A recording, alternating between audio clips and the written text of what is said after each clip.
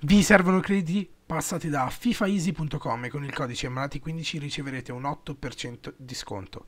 E bella a tutti ragazzi, qua Rebel e oggi sono qui con la player review di Ciro Immobile in form, giocatore che due anni fa si era trasferito prima in Bundesliga, passando poi dalla Liga all'ultimo anno dove diciamo un po' fatto un flop, però tornando in Italia si è dimostrato ancora un attaccante di tutto rispetto, meritandosi questa versione in form con una doppietta eh, nell'ultima giornata di campionato.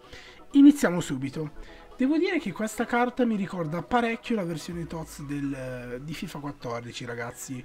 Un giocatore a mio parere devastante su quel FIFA 14 che però aveva le due stelle piede debole, le due stelle skill, non mi ricordo bene, che lo penalizzavano veramente tantissimo. E devo dire che questa versione IF mi è piaciuta molto, non me l'aspettavo personalmente così forte, così incisiva in game, ma devo dire che ne sono rimasto veramente soddisfatto a pieno. Comunque, io direi di iniziare subito con la vera e propria review. Innanzitutto partirei col dire che la velocità di 75 è un vero e proprio pro, dato che anche non avendo un'agilità alta e una velocità comunque molto alta perché a 75 lo reputo un valore abbastanza basso in FIFA. Eh, devo dirvi che mi trovavo molto bene con questo giocatore, saltava molto facilmente i giocatori anche avendo le 3 stelle skill. Quindi ragazzi questo è il primo vero pro di questo giocatore. Passiamo al secondo raga che fa parte del dribbling.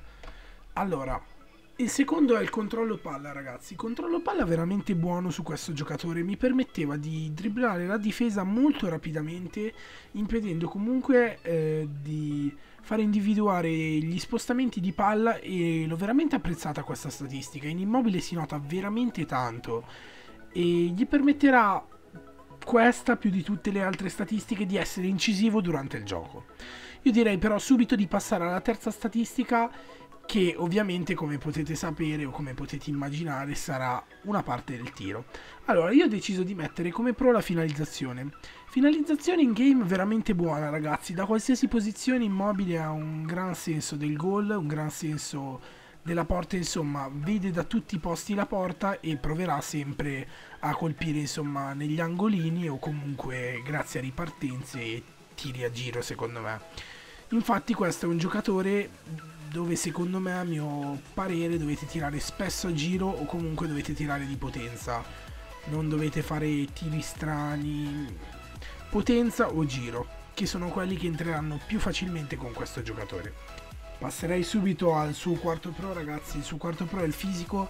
Fisico che come di solito dico è in abbinata col dribbling è veramente una statistica da non sottovalutare su questo FIFA 16 dato che si gioca molto in difesa, in attacco col fisico e quindi veramente apprezzatissimo questo 76 sulla carta che sembra addirittura qualcosa in più.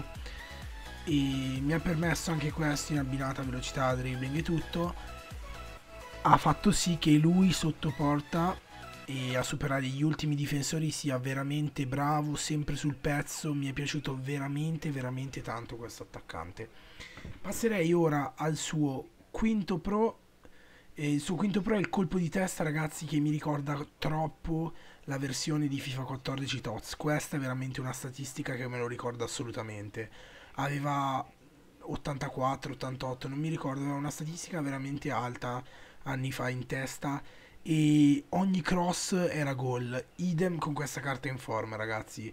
Se la provate mm, sui calci d'angolo e tutto, veramente il 90% delle volte vi farà di quei gol assurdi su calcio d'angolo. Veramente ve lo consiglio vivamente questo giocatore. Io ho deciso di attribuirgli solo un contro che sono le 3 stelle skill che a me non mi fanno apprezzare pienamente le carte su FIFA perché anche solo in abbinata col dribbling un giocatore diventa automaticamente più agile con le 4 stelle skill.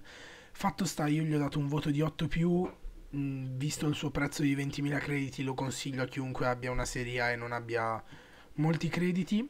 Spero che questa review vi sia piaciuta, un saluto e un abbraccio da Rebel, bella ragazzi.